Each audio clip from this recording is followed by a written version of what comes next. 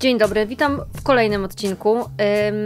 Tak jak wiecie, lub też nie, chodzę czasami na skróty i zamiast bazować na swoich pomysłach i swojej kreatywności, pytam Was o zapotrzebowanie, pytania, problemy.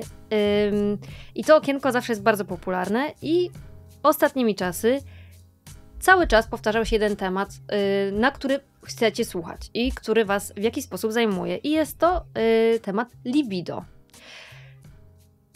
Więc nasz klient, nasz pan, bardzo proszę. Dzisiaj y, moim gościem jest Andrzej Gryżewski, seksuolog, psycholog, terapeuta, ale też autor książek. Tak, dzień dobry. Dzień dobry. Autor książek, y, od razu zaprezentujemy. Sztuka obsługi waginy i sztuka obsługi penisa, jeszcze Tak. jest druga. Sztuka obsługi waginy jest o kobiecości, o seksualności kobiet od A do Z, a sztuka obsługi penisa jest o męskiej seksualności od A do Z. Właśnie kończymy pisać sztukę obsługi penisa 2. Okazało się, że ta seksualność męska nie jest taka e, mała, jak jakby się wydawało, jest szeroka, dochodzą nowe cały czas tematy. No proszę. Temat libido. Mhm. Rozumiem, że dobrze zaprosiłam gościa. Seksuolog nam pomoże na, w Tak, tym temacie. zdecydowanie. Czym Za- jest libido w Za to mi ludzie razie? płacą, żebym skutecznie im pomagał. Świetnie, a wy to macie za darmo, bardzo proszę. Dokładnie. Czym jest libido? Libido. Libido to jest taki popęd seksualny, to jest, no właśnie, bo y, samo podniecenie to jest takie erotyczne zaktywizowanie organizmu, a pożądanie to jest takie erotyczne zaktywizowanie organizmu w stronę danej osoby, Osoby, czyli mhm. że pożądamy kogoś na przykład będąc w związku, czy kogoś pożądamy pracując na open space, bo nam wpadł mm, w oko. Mm, Nasz y, podcast się nazywa Pierwsza Randka, więc ja bym w ogóle to podzielił na dwa, w sensie e, czym innym jest libido na pierwszych randkach, a czym innym jest libido już jak jest związek. Ludzie nie tylko się spotykają, ale po prostu są w związku. Mhm. To, to są dwie różne sprawy.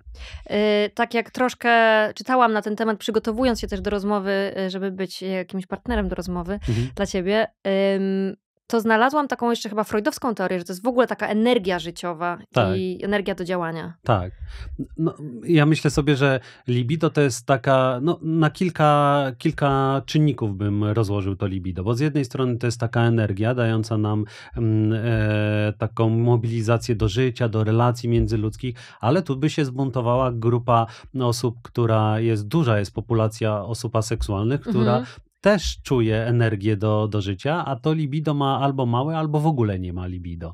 Więc oni by strajkowali No na właśnie. przykład. N- n- e, Natomiast myślę sobie, że każdy zupełnie inaczej definiuje swoje libido. Też jest ogromna różnica, jak przychodzą do mnie pacjenci mężczyźni, a pacjentki kobiety.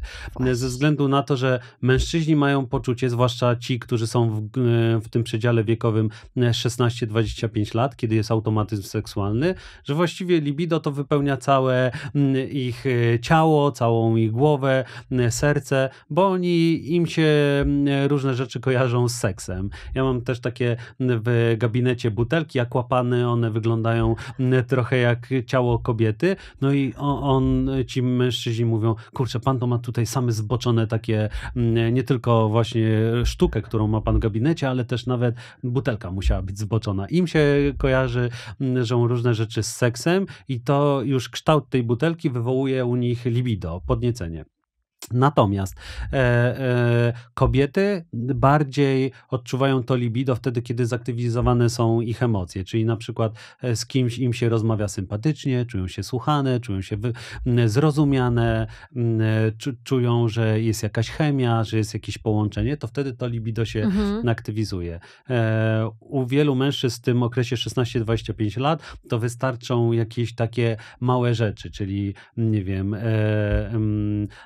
em, aerodynamiczna mm, sylwetka mm, albo jakieś iskry w oczach, to już po- podnosi się im libido. Po 25 roku życia to już jest inaczej. Największym organem seksualnym jest mózg i ten mózg musi być mm, dostymulowany, żeby to libido się u mężczyzny pojawiło. Czyli to, to że jest atrakcyjna partnerka nie wystarczy, mu, musi być tak jak u wielu kobiet, poczucie bezpieczeństwa, flirt, uwodzenie, zaangażowanie, miłość i, i wtedy to pożądanie się pojawia. A czy jest coś takiego jak prawidłowe i nieprawidłowe libido? W jakim sensie? Czy jest taki uniwersalny poziom libido, który możemy jakoś nazwać i określić, że to jest coś, co jest w normie, a coś, co będzie powyżej albo poniżej, to jest właśnie coś takiego abnormalnego? No właśnie, i, i tu pojawia się tak zwana norma partnerska, czyli w danej parze to ludzie sobie sami ustalają, co jest dla nich normą. Bo na przykład mam takich, e, takie pary przychodzą do mnie na terapię par, gdzie kobieta mówi, ty to jesteś seksoholikiem, chcesz seks uprawiać raz w tygodniu, za często, ja chciałabym raz w miesiącu i to jest normą.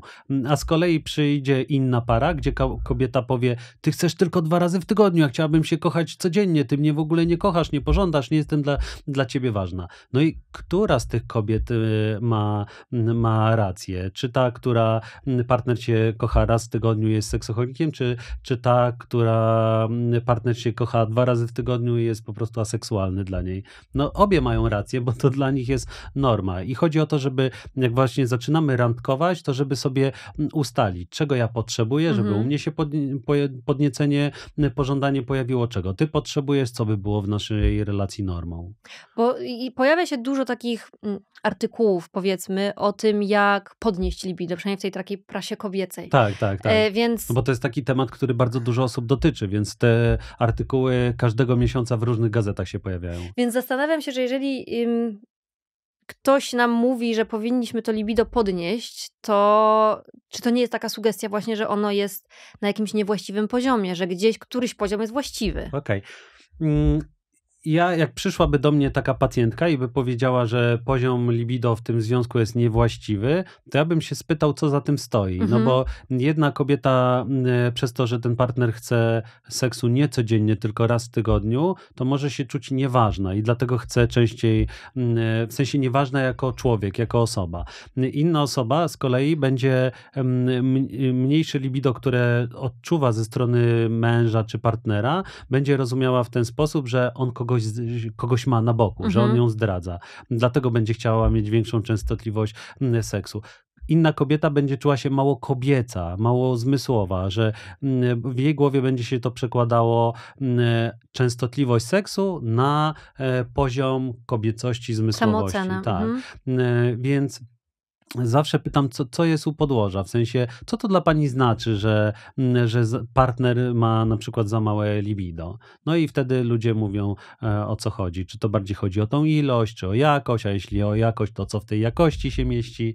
Mm, to nie, to, to są złożone sprawy, to nie jest takie proste. Czyli w takim, żeby y, trochę to na taki prostszy język przełożyć tak. jeszcze, czyli że nasz osobisty poziom libido, załóżmy, Ochoty na seks, tak? tak? Mhm. Nie, znaczy, generalnie chyba nie możemy powiedzieć, że on jest, może być nieprawidłowy. On jest jaki jest, że nieprawidłowość się dopiero pojawia, że nieprawidłowość, jakiś zgrzyt się dopiero pojawia wtedy, kiedy w parze te poziomy są rozbieżne. Nie, tak, rozbieżne, nierówne. Bo to, to jest też w ogóle ciekawe, że jak przychodzi do mnie, nie wiem, pacjentka, która ma lat 30 parę, to zazwyczaj jest tak, że była już w trzech związkach, na przykład czterech, y, kilku, kilkunastu, no i ona powiedzie, i często jest tak, że ta kobieta mówi, Mm, byłam na przykład w tamtym roku w takim związku, gdzie uprawialiśmy seks raz y, w miesiącu i to dla mnie było ok. Natomiast teraz y, uprawiam ten seks kilka razy w tygodniu i to dla mnie jest nie okej. Okay. Dwa na przykład razy.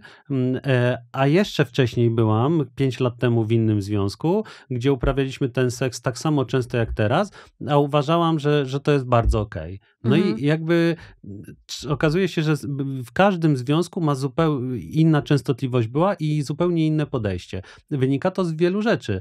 Na przykład z tego, że e, w tamtym związku mogła kobieta rzadziej ten uprawiać seks, ale on był bardziej jakościowy. Ona czuła się podniecona, czuła miłość, pożądanie ze strony partnera, czuła, że, że ten partner chce z nią pójść do łóżka, a te, teraz na przykład ten seks jest częściej, ale dla niej jest nie okej, okay, bo ona czuje, że ten seks jest bardzo mechaniczny, że nie ma flirtu, wodzenia, tylko że mu bardziej zależy na swoim orgazmie. Mm -hmm, To porozmawiamy o kobietach, jak już jesteśmy y, na tym, na tym po tej stronie, po tej stronie barykady. Um, wydaje się, że właśnie w tych takich i dyskusjach medialnych, ale i dyskusjach, bym powiedziała, przynajmniej w takiej mojej bańce znajomych, załóżmy, tak. że to faktycznie kobiety są po tej stronie zazwyczaj niższego libido. Z czego to wynika? Ja mam obserwację, że tak było wcześniej. W sensie, o. ja jako seksuolog pracuję 17 lat.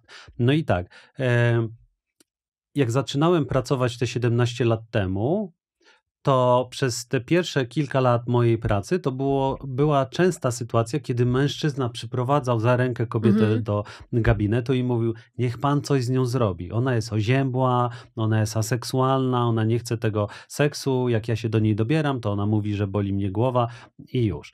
E, I ja się czuję odrzucony, czuję się niepożądany. Więc to, to była bardzo częsta sytuacja, kiedy my, seksuolodzy, pracowaliśmy głównie z kobietą, żeby ona się otworzyła na libido. Tam często był taki zespół mm, nierozbudzenia seksualnego, mm, bo kobieta się nigdy nie masturbowała, nie oglądała jakichś filmów erotycznych, nie bodźcowała się na przykład takimi książkami, jak tutaj przed nami leży sztuka obsługi, obsługi waginy e, nie interesował ją seks i dopiero e, na, na terapii zaczęła się tą sferą bardziej interesować i miała przez to większą satysfakcję, częściej orgazmy.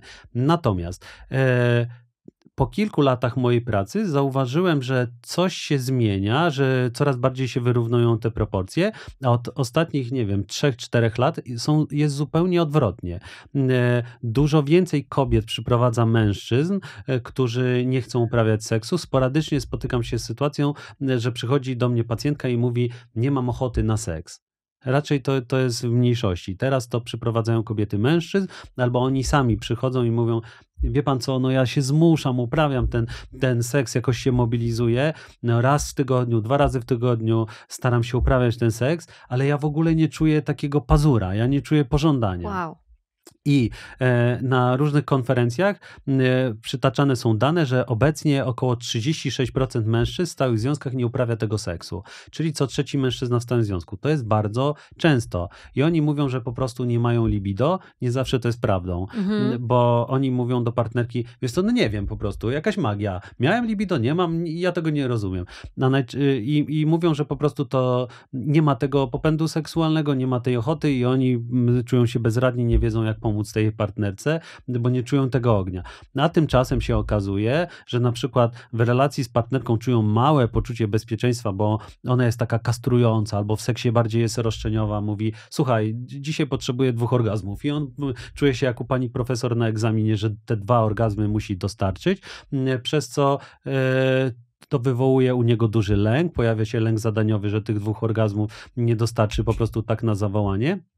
Więc się ci mężczyźni wycofują z seksu, ale partnerskiego, bo na przykład wchodzą w pornografię. I to jest często duże tło, że, że duże ilości pornografii mężczyźni konsumują. Albo z kolei teraz jest bardzo też szeroka paleta różnych przyjemnych aktywności, bo nie trzeba uprawiać tylko seksu, żeby doświadczyć przyjemności, ale można sobie włączyć Netflixa, no albo sobie odpalić jakiś audiobook, no albo pójść pograć sobie w padla czy w squasha. Mhm. Jest bardzo duża paleta przyjemnych rzeczy i ludzie z tego korzystają. I to też odbiera yy, motywację do uprawiania seksu. Zmniejsza te, to libido, bo ta przyjemność się po prostu na innych filarach opiera.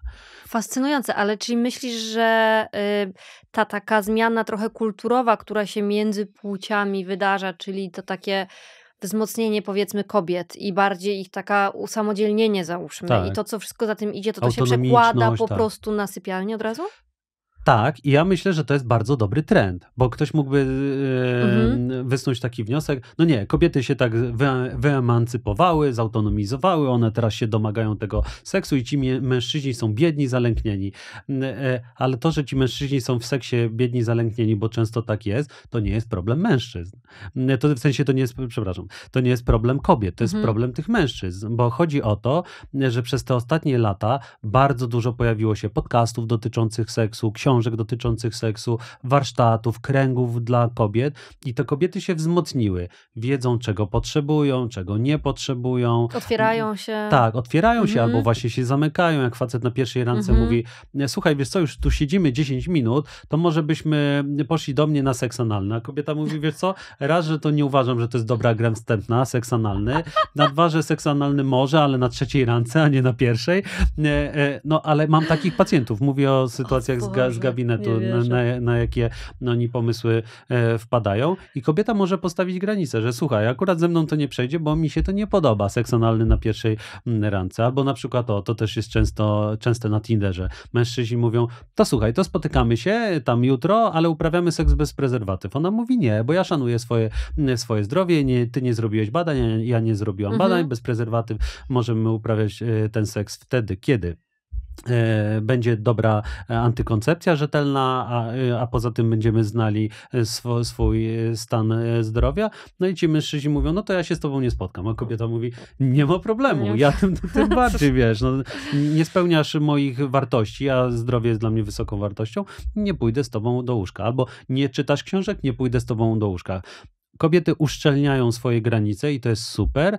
No i mam poczucie, że wielu mężczyzn trochę nie na, nadgania, nie nadąża. nie mhm. nadąża za tym samorozwojem kobiet. I to jest problem mężczyzn, nie jest to problemem kobiet. Bo niektórzy specjaliści seksuolodzy doradzają, że kobietom że jeśli zależy ci na partnerze, to udawaj Dawaj, głupią ni, no tak, tak. niż jesteś. No facepalm. Dla mnie to jest w ogóle głupi pomysł, no, bo dlaczego kobieta ma rezygnować ze swojego potencjału po to, żeby utrzymać związek, gdzie facet nie pracuje nad swoim potencjałem? No w ogóle mm, ślepa uliczka, lepiej w niej nie parkować. To prawda, ale bo tak nasze babcie tak mówiły, wiesz, że tak. y, no, kobieta nie może być za silna, za niezależna, musisz trochę tam poprosić o pomoc, musisz trochę poudawać słabszą. A i, i jak wiesz, Natalia mówisz o tym, no to mi się rysuje, jest taki obraz, jest w sensie kobiety, mhm. o, kobiety osobowość, charakter, nie intelekt, a mężczyzna wyznacza taką po prostu tak, ile można. ramkę obrazka i on tylko chce widzieć jej ta, ją w takim obrazku. No po co, nie? Bez sensu. W ogóle człowiek czuje czuje, że, że, że to jest jakoś źle skrojony, nie wiem, garnitur, gorset, że się dusi w tym. Bez sensu. My dobrze się czujemy w relacjach wtedy, kiedy jesteśmy sobą. To prawda. To prawda. Kropka. No tak, no, no tak. No to bardzo co były szkodliwe teorie, ale ym, no jeszcze babcie i mamy nasze jeszcze mówiły takie rzeczy, także... No, no, no mówiły no. i do tej pory mówią, mówią, Że, że no wiesz, jak nie bije i nie pije, to zostań tak. z nim, nie? No ale tak, na tak, przykład, tak, e, wiesz, tobie zależy na tym, żeby sobie pójść mm, raz w tygodniu, czy raz na dwa tygodnie do teatru, albo do kina, albo na randkę, wiesz, do, do restauracji. Albo porozmawiać mówi, o emocjach. Tak, a on mówi, nie, nie będę gadał o emocjach, to głupoty, nie będę chodził do, do, do kina, szkoda pieniędzy, jesteśmy po pandemii, była duża, jest duża inflacja, nie będę wydawał. Cieszę, że cię nie zdradzam. E, tak, no pff, znowu facepalm. Prawda. Wiesz, no e, myślę sobie, że chodzi o to, żebyśmy my w związku czuli że e, jesteśmy sobą, że rozwijamy swój potencjał, że nikt tego potencjału nie ogranicza, a takie, takie rady typu mm, udawaj głupszą, no to myślę sobie, że są z niekorzyścią dla naszego potencjału, ale też dla naszej seksualności, bo ta seksualność jest na bazie tego potencjału. W sensie, że jeśli ty potrzebujesz chodzić na, na miasto, na randkę, wiesz, do kina raz w tygodniu mhm. i czujesz, że to cię bardzo odstresowuje od pracy, od różnych zobowiązań, to dlaczego miałabyś tego nie robić? Jeśli cię stać, masz czas, to warto to robić już. Mm, a siedzieć w domu, bo na przykład partner jest introwertykiem i jest domatorem, bez sensu. Wracając do kobiet i kobiecego libido. Mm, oprócz mało nie, nie najlepszego partnera, to co może jeszcze wpływać na, na obniżenie tego libido u kobiet? E, jest taka, taki jeszcze, podzielę ci od razu, e, od razu sobie sama zadam pytanie i sama na nie odpowiem, ale po, po, prostu chciałabym się od razu podzielić e, no. takimi, wiesz, głosami, które słyszę i je skonfrontować, czy to jest prawda, czy nie. Bo takim zdaniem, które naj, słyszę najczęściej od koleżanek, to jest to, że na przykład tabletki antykoncepcyjne wpływają na libido bardzo. To jest prawdą i to nie jest prawdą. O, Kocham takie proszę. Jest prawdą dlatego, że dana tabletka rzeczywiście na kobietę może skutkować e, w taki sposób, że obniży jej libido, mm, a nie jest prawdą, bo jak ona pójdzie do ginekologa czy ginekolożki i sobie dobierze inną formę antykoncepcji, bo są też inne. Mm, są plastry, są pierścienie dopochwowe, są wkładki domaciczne, jest bardzo szeroki wachlarz skutecznej antykoncepcji, to się okaże, że nie będzie wpływu antykoncepcji na libido libido. Warto pójść do swojej ginekolożki, ginekologa, przedyskutować to, zmienić i sprawdzić, jak to na ciebie będzie wpływało. Bo na przykład dane tabletki na twoją przyjaciółkę będą wpływały tak, że ona w ogóle nie będzie miała libido. Te same tabletki na twoją siostrę będą wpływały tak, że e, ona będzie miała umiarkowane libido, a na ciebie będą wpływały tak, że będziesz miała często mm, ochotę uprawiać seks ze swoim partnerem. Mach to jeszcze skonfrontuję jedną rzecz, czyli co to znaczy w tym kontekście, że y, one wpływają lub nie na libido, bo też słyszałam taką teorię, bez imion powiem, więc spokojnie. Y, Ale wiemy o kogo chodzi. nie wiem. Jedna z moich koleżanek mi się dzieliła taką historią, że właśnie ona jak brała tabletki antykoncepcyjne, to nie czuła takiego podniecenia, żeby się rzuciła na tego swojego chłopaka w ogóle i chciała się z nim kochać natychmiast. I że dla niej to był znak, że to libido jest za niskie. Czy to jest prawda? Czy to jest jakiś wyznacznik tego, czyli że to libido jest prawidłowe, jak ja odczuwam taką, wiesz, chęć, że po prostu muszę iść się na niego rzucić? Mo może to być y, skutek libido, ale ja bym jako seksuolog, psychoterapeuta sprawdziłbym też inne czynniki, mhm. które mogą taką sytuację wywołać. Bo na przykład jeden czynnik jest taki, o którym mężczyźni notorycznie e, nie pamiętają, o higienie. W sensie, że e, jest, je, wiesz, jest gorąco, są spoceni, przychodzą z miasta mm, po pracy i dobierają się do partnerki. Partnerka mówi delikatnie, najbardziej jak może, odśwież się, tam prysznic cię woła, pójdź, jakoś się sobą zaopiekuj, woda nie jest twoim wrogiem. E, a ten mężczyzna jest Właściwie okay. jest w porządku i nie narzekali. No, ona mówi, wiesz, no twoi koledzy na boksie nie narzekali, nie? ale nie idą z tobą do łóżka. ja bym chciała, ale, e, ale mi coś, coś przeszkadza. I niestety czasami jest tak, że jak kobieta nie powie wprost, wiesz co, pójdź się umyj po prostu, to wtedy ja się umyłam, to, to możemy coś robić to ten mężczyzna się może nie domyśleć. E, ja od kobiet też bardzo dużo słyszę takich zażaleń dotyczących na przykład higieny penisa, e, że, że ten mężczyzna od kobiety wymaga, mhm. żeby był ten seks oralny w jego stronę, ale jego genitalia nie najlepiej pachną. To akurat opisałem w sztuce obsługi penisa, że jak jest penis i na górze penisa jest taka korona, taki żołądź, taka żołądź, to pod tą żołędzią się odkłada taki, taka substancja w formie kremu, to się nazywa mastka. I ta mastka, jak jest, e, odłoży się przez kilka godzin, kilkanaście godzin, to źle pachnie. I jak mężczyzna nie umyje tego penisa, to skutecznie zniechęci partnerkę do, do tego seksu. I wielu mężczyzn ma, ma poczucie, że a dobra, jakoś to, to będzie. No nie będzie do, dobra, no nie będzie tego seksu na przykład oralnego, jeśli on nie zadba o higienę. To, to, to jest jedna rzecz. E, druga rzecz jest na przykład taka, że mężczyźni często od kobiety kobiety oczekują, że kobieta ładnie mm, się wystroi, że będzie miała mm, bieliznę erotyczną, a sami chodzą w domu w jakichś rozciągniętych mm, spodniach, dresach, jakimś poplamionym koszulku. Kolejny facepalm. Kobiety to rozczarowuje, bo są w dużej mierze większymi estetkami niż ci mężczyźni. No i, i ten, ten estetyzm nie działa tylko w ich stronę, że one chcą ładnie wyglądać, tylko chcą, żeby partner też mhm. ładnie wyglądał. Nie chodzi o to, żeby ten mężczyzna się przebrał w jakieś różowe stringi, ale żeby... Chyba, że obu osobom to pasuje. Tak, e, czy w jakąś panterkę. natomiast e, natomiast no, chodzi o to, żeby on estetycznie wyglądał, ładnie pachniał i tak dalej. No, nie tylko właśnie te oczekiwania mają być w stronę kobiet. Kolejna rzecz jest y, taka, że na przykład mężczyźni, jak im się przypomni o seksie, na przykład o 19.30, to o 19.31 już zaczynają się dobierać do partnerki, rozbierają ją szybko i chcą uprawiać ten seks. A, a kobiety nie mają takiego szybkiego startu erotycznego. One potrzebują dłuższego pasa startowego. Potrzebują gry wstępnej, potrzebują przytulenia, pocałunków, potrzebują flirtu, potrzebują na przykład telefonu w ciągu dnia, żeby czuć się ważną, zaopiekowaną, to jest niezwykle ważne. Wielu mężczyzn w ogóle o tym nie pamięta. My w seksuologii mamy taką zasadę, że gra wstępna zaczyna się od śniadania e, i wtedy fajny jest na przykład ten wieczorny seks. Wielu mężczyzn o tym zupełnie nie, nie pamięta. Więc innymi słowy, kobieta może nie mieć takiego pazura, jeśli sobie myśli, no tak, zaczęłabym się do niego dobierać, ale on nieprzyjemnie pachnie. Albo zaczęłabym się do niego dobierać, a on zamiast zaopiekować się moimi strefami Mhm. erogennymi tutaj na karku, na płatkach uszu, na sutkach, to on po prostu parcie na bazę i, i y, dąży do tej penetracji waginalnej. Wielu kobietom to się może nie podobać. To jest też coś, y, panowie, co, o czym nie pamiętacie, że wagina kobiety ma tylko 5 centymetrów y, kobiety niepodnieconej. Dopiero pod wpływem flirtu, uwodzenia ta wagina się rozszerza do kilkunastu centymetrów, nawilża się i akomoduje się, obkurcza się na penisie. Innymi słowy, kobieta potrzebuje czasu kilkunastu minut, kilkudziesięciu, mm, właśnie gry wstępnej uwodzenia, żeby się przygotować do tego mm, seksu. A mężczyźni mierzą swoją miarką, czyli jak ja się podnieciłem w ciągu minuty, to kobieta też powinna, bo mieliśmy tyle samo czasu. No nie.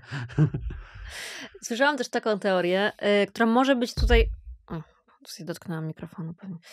Słyszałam też taką teorię, która może być tutaj trochę powiązana y, pewnie z tym, co mówiłeś wcześniej, y, o tym, że często ten seks, który proponują mężczyźni, jest dla kobiet nieinteresujący, więc dlatego one go unikają, bo nie mają z niego takiej satysfakcji, jaką ma mężczyzna. Tak. Że gdyby to, co on proponuje, było bardziej emocjonalne, interesujące, może dla niej bardziej stymulujące, to może to libido jej byłoby też większe. Tak, bo wiesz co, chodzi tutaj też, też o to, że mężczyźni jako edukację seksualną traktują pornografię. W sensie, że to, co widzą na pornografii, to traktują jako standard. I na przykład, jeśli mężczyzna widzi, że na tej pornografii facet napręża się, łapie partnerkę, e, inną aktorkę po prostu filmów e, erotycznych, łapie za, za miednicę i uprawia ten seks, dokonuje penetracji, te ruchy fryk- frykcyjne są, a jednocześnie patrzy się gdzieś tam w przestworza, to on ma poczucie, że on musi tak samo zrobić. No i też właśnie łapie swoją partnerką,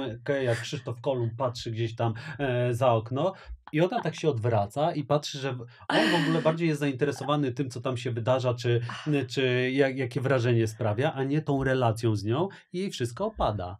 E, No i ona się zniechęca, mu wszystko też opada, bo widzi, że nie ma interakcji i już. W sensie taki seks, któ- który bardziej wygląda jak jakieś e, heblowanie stołu e, w, w zakładzie stolarskim, jakiś taki tartak, suwysów, suwysów, wiele kobiet nie podnieca.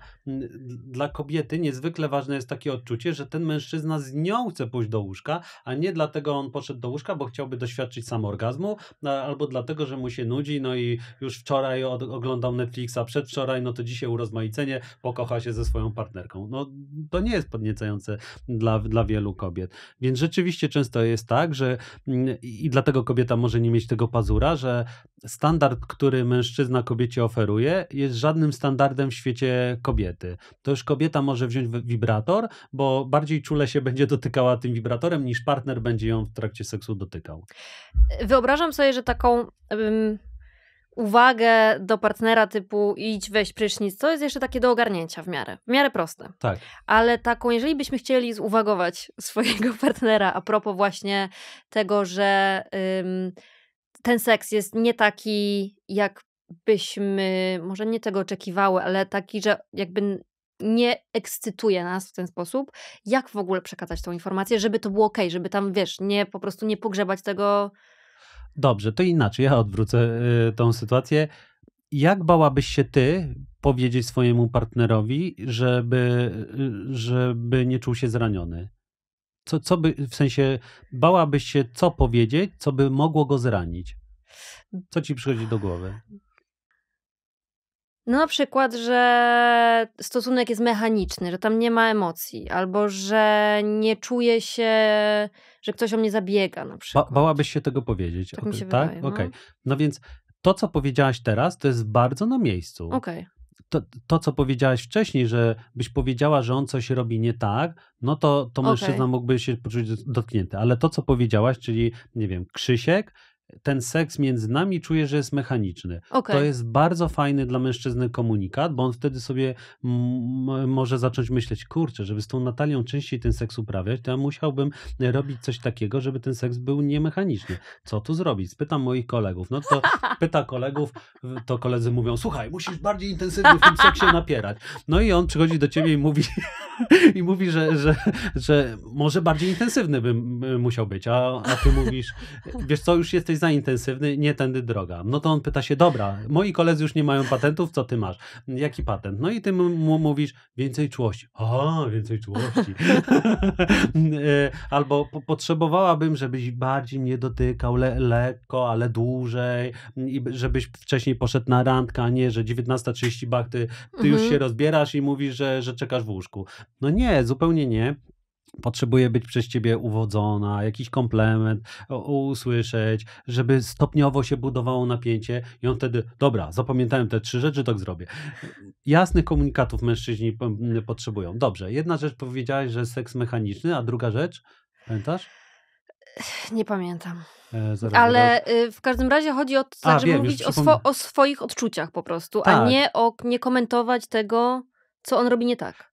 Tak, chodzi o to, przede wszystkim chodzi o to, żeby kogoś nie unieważnić. Czyli jak ty powiesz coś takiego, Wiesz co, moi partnerzy poprzedni to rzucali się na mnie z taką pasją, a ty po prostu w tym seksie masz taką jakąś angielską flegmę, chyba jesteś gejem. No to to rzeczywiście mężczyznę, wiesz, unieważni. Bez porównywania, bez obrażania. Bez obrażania, bez właśnie takiego etykietkowania, że, mm, że nie wiem, ty jesteś miękka faja. No wiesz, no nikt po takim tekście nie czuje się podniecony. To ja ci udowodnię, że nie jestem. No raczej tak nie, nie dzieje się, tylko, tylko o, dlatego jest ta grupa taka duża. 36% mężczyzn w stałych związkach nie uprawia seksu, bo oni czasami czują się dotknięci takim tekstem, który się pojawia, albo realnie kobieta powie, albo on sobie dopowie. Czyli, mhm. że mm, skoro ona dzisiaj nie doświadczyła orgazmu, to znaczy, że ja jestem słabym kochankiem. I on nawet nie skonfrontuje tego. Natalia, czy uważasz, że jestem słabym kochankiem? I ty powiesz, tak, uważam, albo nie, nie uważam. Nie skonfrontuje tego w ogóle, tylko się nakręca w swojej mhm. głowie i oddala się. To ja sobie będę grał na konsoli, czasami będę się masturbował przy pornografii, a tutaj seks wygaszę, poczekam aż po prostu jakiś remont się pojawi w naszym związku i przyjdź mi tą, ten seks, albo nie wiem, weźmy sobie psa, który będzie nam dezorganizował życie mm, e, rodzinne i już, i te, ten seks się rozmyje. No nie rozmyje się, w którymś momencie on wypłynie. Yy, a wiem jeszcze, na przykład ten temat właśnie gry wstępnej i tego, że jednak bardzo dużo mężczyzn od razu do sedna. Tak, parcie yy, na bramkę, bum. Czy to się da jakoś tak ładnie Zagaić?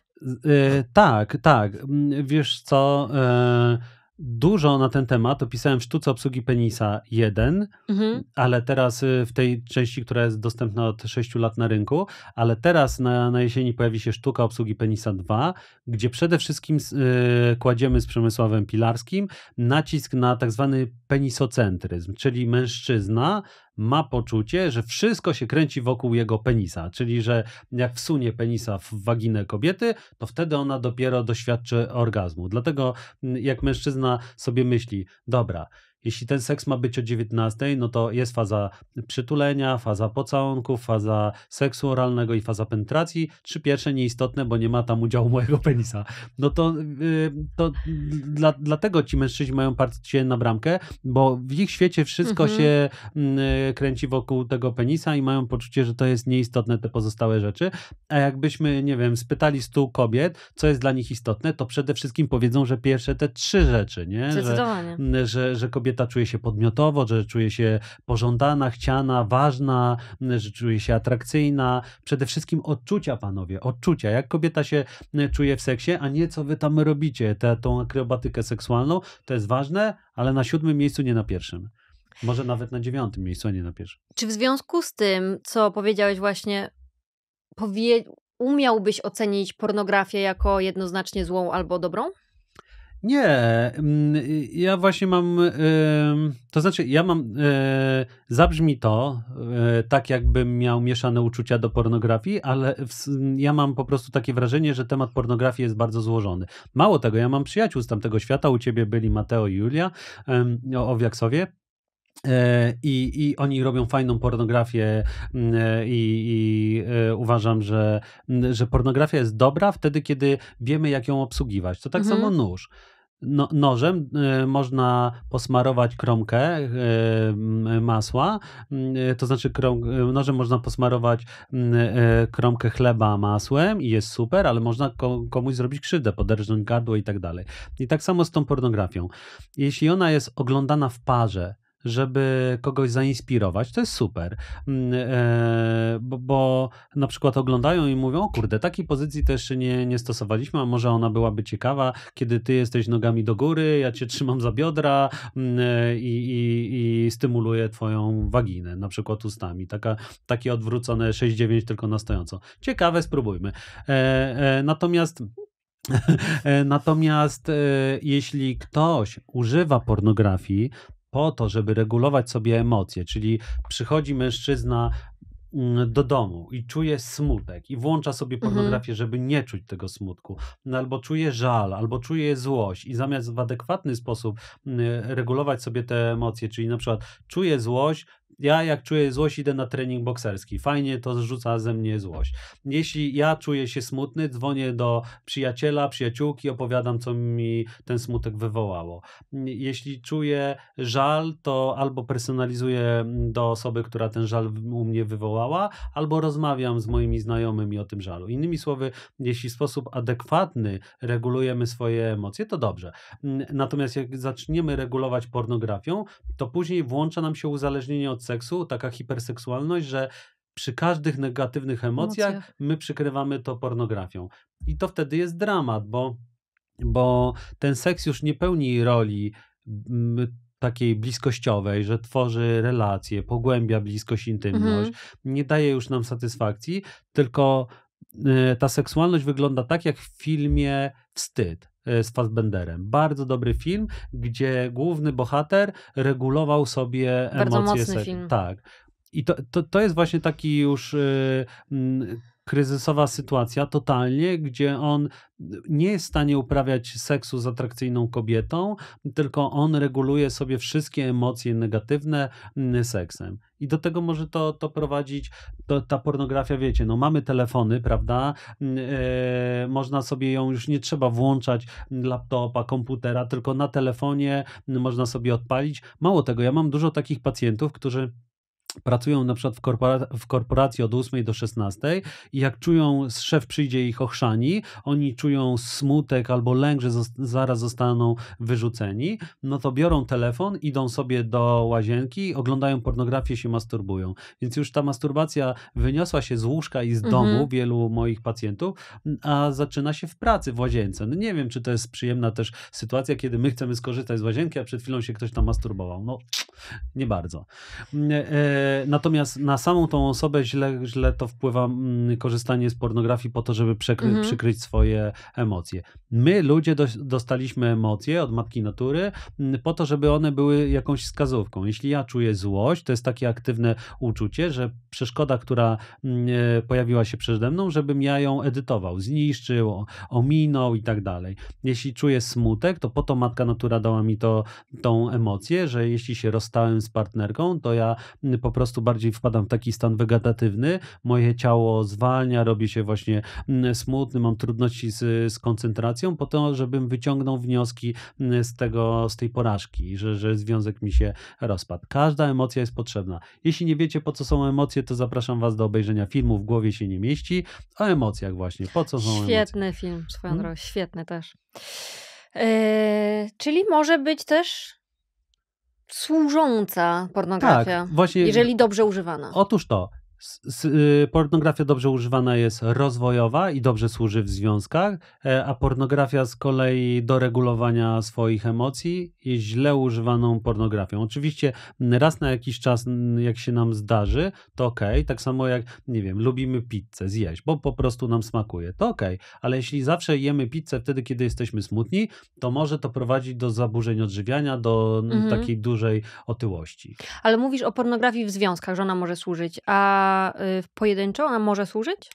Mo może służyć, jeśli epizodycznie się pojawia, bo jeśli się pojawia codziennie, to wtedy dla nas, y, ludzi, którzy korzystają z pornografii, a jesteśmy na przykład singlami i robimy to codziennie, to, to wiele osób może się uzależnić, dlatego że tam zawsze jest luna park emocji, doświadczeń. Bo... Taki plaster na samotność. Tak, tak. I, I, dużo tam się cały czas dzieje mhm. i można od tego rollercoastera emocjonalnego się uzależnić.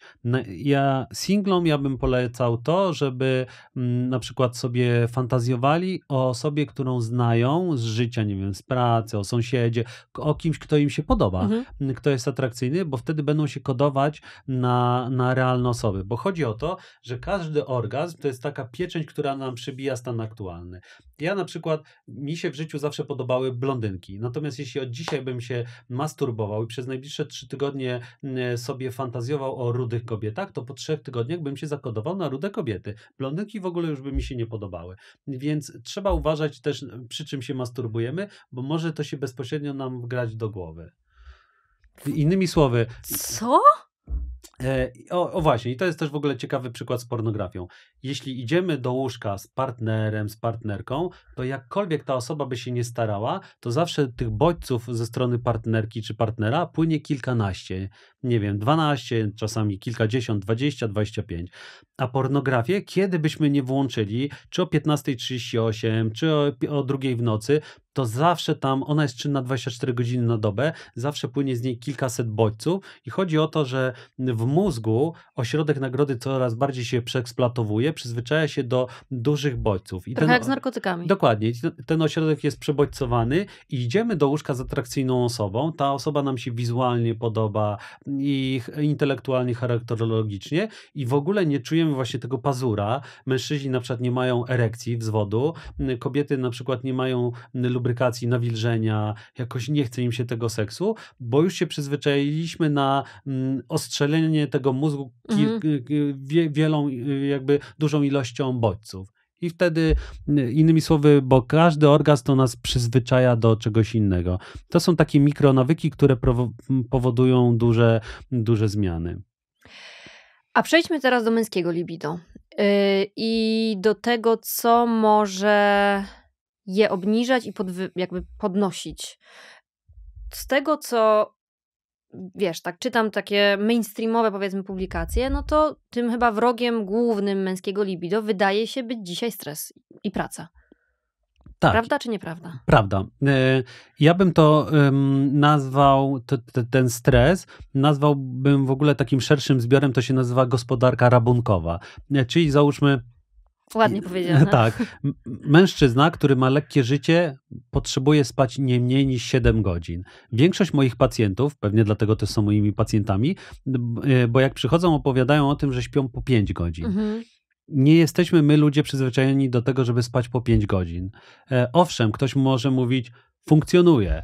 No ale to nie będzie takie dobre funkcjonowanie. Jak to, jak to mówię, to mi przychodzi mm, e, e, przychodzi taki kadr z filmu. Był, mm, nie wiem czy kojarzysz, Dorociński e, Marcin, grał w filmie chyba w Pitbullu.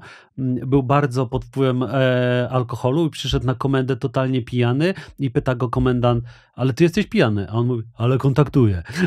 I, i ci, ci mężczyźni, którzy do mnie przychodzą, ja mówię, e, pan śpi poniżej 7 godzin, ma prawo pan mieć zaburzenia erekcji ale przecież kontaktuje. No hmm. okej, okay, no ale za kierownicę pan nie wsiądzie, w sensie do, do, do łóżka pan nie pójdzie e, i skutecznie pan nie będzie uprawiał seksu, więc Wracając, e, mężczyźni, którzy mają lekkie życie, nie mogą spać mniej niż 7 godzin, ale nie mogą też spać niż, więcej niż 9 godzin. Mężczyźni, innymi słowy, mężczyźni, którzy mają duży stres, powinni spać około od 8 do 9 godzin, bo to jest bardzo dobre spa dla mózgu. E, wtedy ciało mocno wypoczywa, jądra dostają turbo do ładowania, produkują duże ilości testosteronu. Więc sen jest bardzo ważny. Bardzo ważne jest odżywianie. Nie można jeść, nie wiem, 5000 kalorii dziennie, bo ktoś zje na obiad kebaba, na kolację pizzę mm, i jeszcze sobie dowali kolą, nie zero, tylko, tylko z zwykłą z cukrem. E, tylko, tylko te, te, te zasoby, e, które energetyczne, które przyjmujemy, nie mogą być e, nadmiarowe, żebyśmy po prostu nie za bardzo szli, nie możemy iść bardzo w otyłość, bo to otyłość w ogóle brzuszna powoduje, że tam w tym brzuchu. Testosteron się zmienia na estrogeny łatwiej, czyli hormony kobiece, kobiece tak, i wtedy łatwiej się e, eliminuje libido. Ci mężczyźni nie czują tego właśnie pazura, więc to, to jest też ważne. Ale też dużo, wielu mężczyzn nie dba o swój nastrój. W sensie, jeśli są zmęczeni, a pracują już załóżmy 10 godzinę czy 12, to nie robią sobie jakiejś fajnej przerwy, czyli nie pójdą na spacer, nie pójdą na sport, nie porozmawiają o emocjach z partnerką, tylko odpalają sobie wtedy konsolę i jeszcze bardziej się odcinają od swoich emocji. To nie jest dobra droga, nie idźcie tą drogą. E, więc y, ta gospodarka rabunkowa po, polega na tym, że za, mało, za mała ilość snu, często, e, często złe odżywianie, często mała ilość sportu, często nieregulowanie sobie emocji w sposób adekwatny nastawienie też w seksie właśnie na ten seks mechaniczny, że oni muszą coś dowieść, czyli ten lęk zadaniowy, że, mhm. że tutaj partnerka musi mieć 50 orgazmów pod rząd na przykład. No nie da się. Mm, albo, że musi mieć orgazmy mokre. To jest w ostatnich latach taki, taki trend. trend tak, że, że jak kobieta ma orgazmy mokre, to jest prawdziwą kobietą, a jak nie ma, to, to nie, jest nie jest prawdziwą kobietą. Tak w wielu głowach męskich się pojawia taki myśl. 124 lata temu Freud miał podobną refleksję, jak kobieta miała orgazm pochwowy, to była prawdziwą kobietą, jak miała orgazm łechtaczkowy, nie była prawdziwą kobietą. My się w seksuologii już pod tym nie podpisujemy, e, a widać, że to, te, te orgazmy mm, pochwowe kontra łechtaczkowe zmieniły się teraz orgazmy mokre bądź brak. To, mhm. mm, to oczywiście jest żaden, e, żadna prawda, to jest mit, bo kobieta bez względu na to, czy przeżywa orgazm, czy nie przeżywa, czy przeżywa ten orgazm mokry, cały czas jest kobietą i może na różne inne sposoby sposoby pokazać swoją mm, zmysłowość, kobiecość, niekoniecznie ilością e, tego mokrego mm, orgazmu. E, więc e, ja głównie z, z, moimi pacjentami pracuję nad wyregulowaniem stylu mm, życia, żeby zminimalizować tą gospodarkę rabunkową. Polecam, jest taka bardzo fajna książka napisana przez paradoksalnie przez baseballistę, który później został mm, e, przedsiębiorcą i takim mentorem. Nazywa się e, Atomowe Nawyki. Innymi słowy, chodzi o to, że małe rzeczy w naszym życiu potrafią stworzyć gigantyczne zmiany, w tym też negatywne, bo jeśli codziennie ktoś obiada się wieczorem pizzą po to, żeby wyregulować sobie emocje, albo codziennie wieczorem się masturbuje po to, żeby wyregulować mhm. sobie emocje, to po kilku tygodniach, miesiącach ten seks mu padnie w związku, bez względu na to, jak atrakcyjna będzie jego partnerka. Więc y, Tutaj, jak my to w seksuologii nazywamy żeromski, czyli praca u podstaw, jak przychodzą mężczyźni do nas do gabinetu, to niestety pracujemy nad takimi elementarnymi rzeczami, żeby ten mężczyzna inaczej zarządzał swoim życiem. A takie by się to wydawało łatwe, nie? A no, wcale nie jest. My, ja, ja pracuję w takim nurcie terapii poznawczo-behawioralnej, czyli do mnie nie, nie przychodzi się na pitu-pitu, żeby mhm. porozmawiać sobie o niczym, tylko po prostu ustalamy sobie konkretne cele i dzięki temu realizujemy konkretne wyniki i mamy w tej y, terapii taką y, zasadę, że wiedzieć to nie znaczy stosować. Przecież większość osób y, z nas, większość ludzi wie, jak się odżywiać, ile sportu uprawiać. To prawda. A kto się tak odżywia i kto uprawia sport? Święte słowa. Dziękuję. Ym, alkohol, czy on poprawia libido, czy je obniża? Bo wydawałoby się yy, z wiedzy terenowej, tak. że jednak poprawia. Ale czy to jest prawda? Odpowiedź y, brzmi i tak, i nie. I, nie. E, I tak, w sensie odpowiedź na tak to brzmi w ten sposób, że małe dawki alkoholu to jest, y, to działają pozytywnie. Kieliczek wina na przykład. E, tak kieliszek, dwa kieliszki wina. Jak mężczyzna mówię małe dawki alkoholu, to od razu mężczyźni się potrafią żachnąć i mówią, przecież ja piję małe dawki alkoholu. Butelka na głowę wina albo pół litra wódki, no to chyba mało. Nie, to jest dużo. My uważamy, że do dwóch dawek alkoholu, góra trzech, to, to te dawki alkoholu działają pozytywnie, że ktoś ma większe libido, że, że mężczyzna ma większą sztywność członka, mocniejszą erekcję, że kobieta ma e, większe nawilżenie, lepszą lubrykację.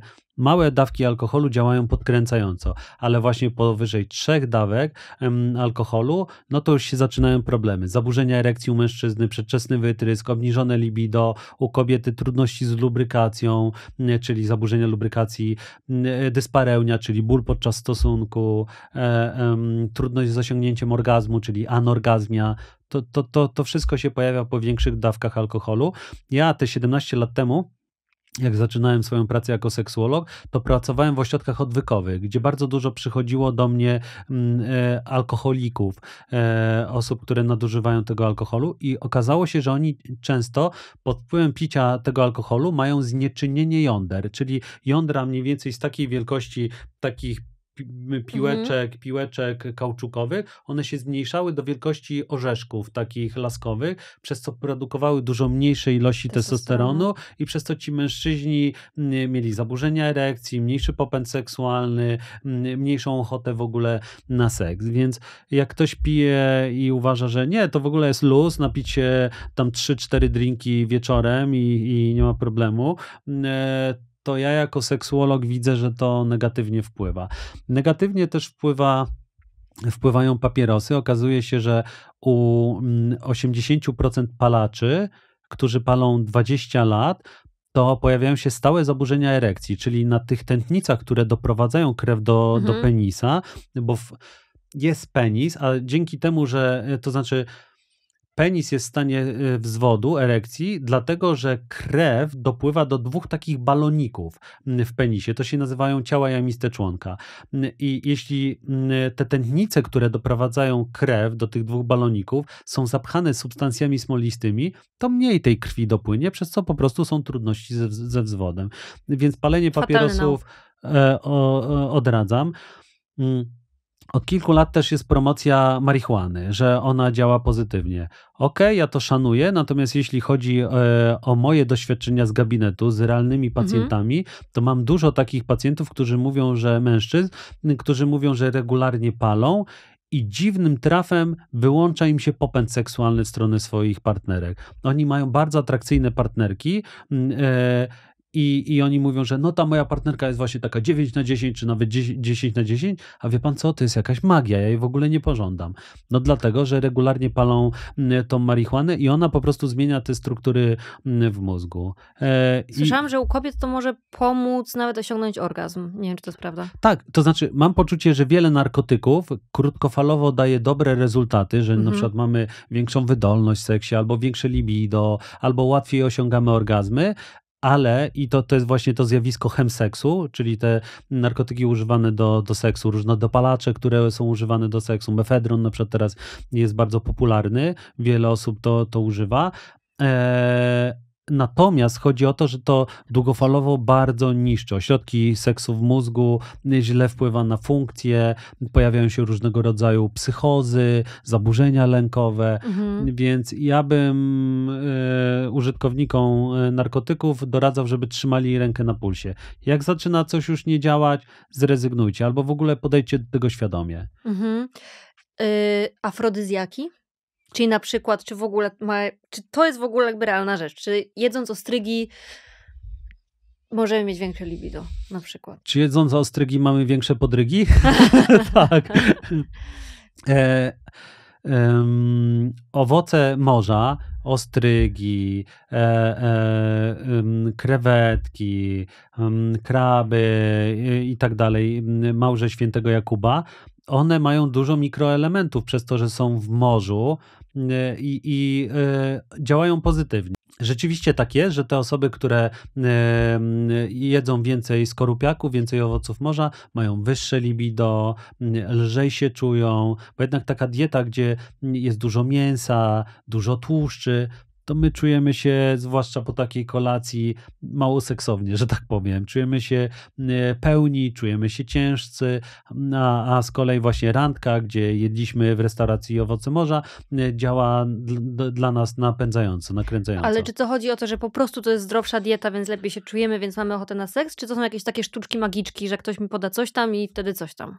E, w dużej mierze ze względu na to, że to jest lżejszy posiłek, mhm. że ma dużo mikroelementów, że mm, nie obciąża naszej wątroby, że nie czujemy się przejedzeni, ospali, bo na przykład e, to, to jest też taki często błąd, że ktoś idzie na randkę i mówi sobie, mężczyzna, zabiorę ją na randkę, napcham w nią te, tego jedzenia, żeby miała poczucie, że, że dobrze zainwestowałem i później będzie udany seks. Ale jak para się obie na randce, to później po prostu e, krew spływa do żołądka, żeby strawić tę tą, ten, tą treść pokarmową no i przez to nie czujemy się jacyś tacy w takim nastroju zbyt erotycznym, tylko bardziej się ospali czujemy i z tego seksu prawie nic nie ma.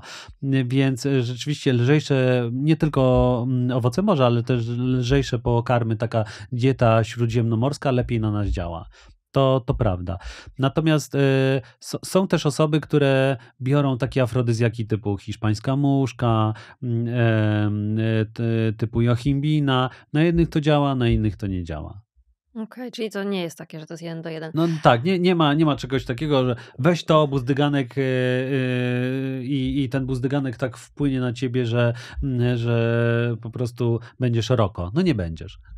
E, a sport, bo czytałam, gdzieś sobie nawet zapisałam, że jakieś teraz są chyba najnowsze badania, które mówią, że kobiety, które, że jest jakiś związek wśród kobiet, że bardzo intensywne i częste uprawianie sportu i niskie libido.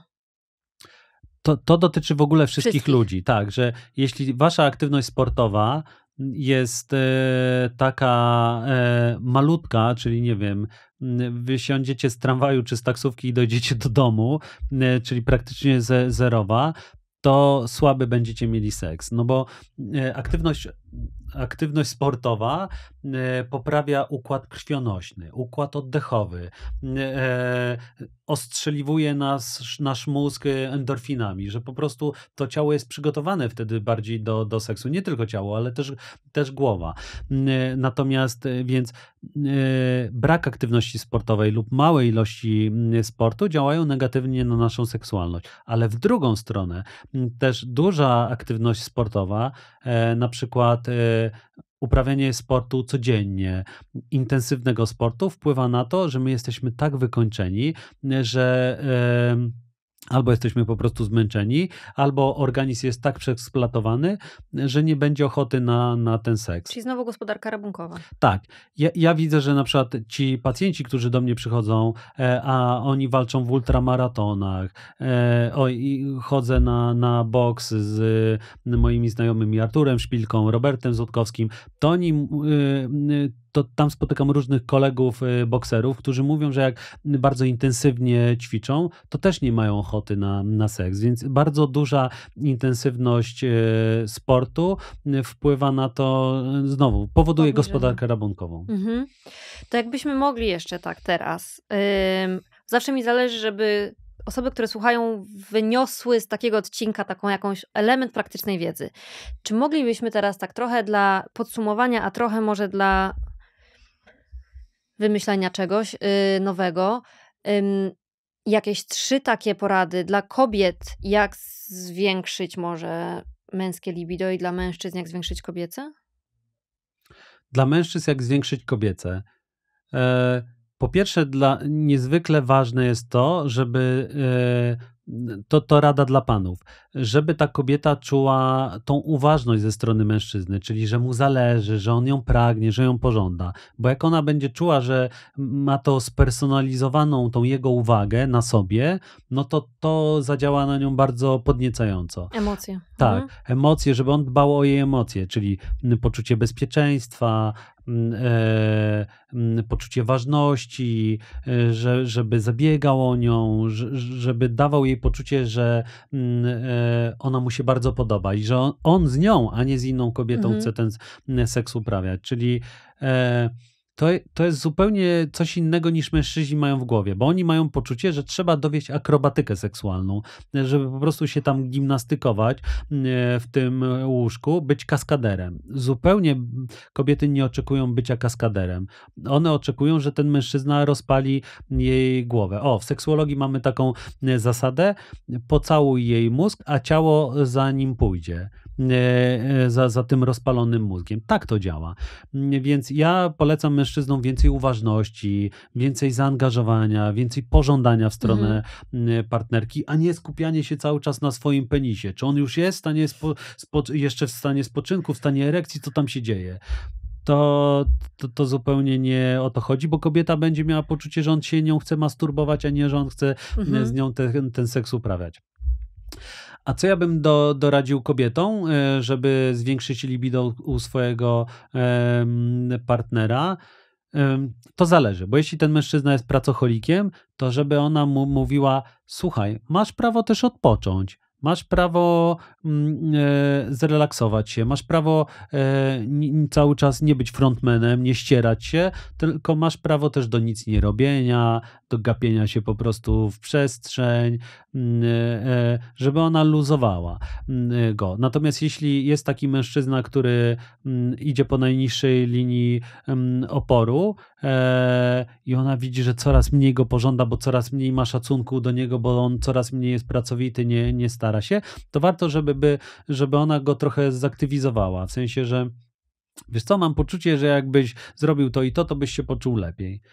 No i tyle. Zostawia kobieta go z tą refleksją. I on mówi, no dobra, no spróbuję. Sprawdza, rzeczywiście działa. Jak pójdzie do, pogada z jakimś kumplem, albo pójdzie na sport, albo, mm, albo odpali sobie jakiś nowy podcast, podcast na przykład pierwsza randka. Także, o, i to chcę jeszcze kobietom powiedzieć. Zrobiłyście bardzo dobrą robotę, panie, e, bo, bo poszłyście w ten samorozwój i teraz odcinacie kupony i to jest super. I warto by było, żebyście taki, tak zachęciły też tych mężczyzn do tego samorozwoju, bo oni też zaczną wtedy czerpać z tego korzyści i przełoży się to finalnie na, na związek. Bo widzę, że wielu mężczyzn po prostu zboczyło w taką ślepą uliczkę, tam sobie zaparkowało, no i nic się w ich życiu nie dzieje. I nie jest dobrym sposobem, tak jak Natalia mówiła, żeby udawać, że się jest osobą głupszą. Nie. Myślę, że związek jest po to, żebyśmy oboje się czuli sobą i żebyśmy czerpali z tego potencjału. No już chyba czas na to, żeby razem robić rzeczy, a nie te takie płciowe obozy. Tak. No i właśnie seks jest też wtedy udany, kiedy jest po prostu w interakcji. Kiedy nie tylko jakby dobrze wychodzi pod kątem technicznym, ale przede wszystkim pod kątem emocjonalnym. Zdecydowanie. Hmm? Mam nadzieję, że pomogliśmy. Bardzo dziękuję za rozmowę. Oby tylko lepiej było w takim razie. Tak, dokładnie. Dziękuję. Dziękuję.